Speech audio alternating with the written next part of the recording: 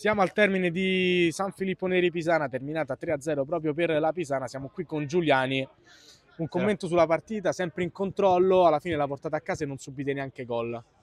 Sì, sempre in controllo, vero fino a un certo punto, perché il San Filippo Neri a inizio, a inizio primo tempo ci ha messo in difficoltà diverse volte. Abbiamo già visto che questo campionato è difficile, non è, non è un campionato semplice e questa partita ce l'ha dimostrato perché il risultato, se vogliamo, è anche un po' bugiardo, perché sì, controlliamo, però qualche occasione ce l'hanno avuto anche loro. Questa per voi è la terza vittoria di fila in campionato, dopo le prime due sconfitte, la sensazione è che state ingranando. Ti chiedo cosa è cambiato secondo te, cos'è che sta funzionando di più adesso?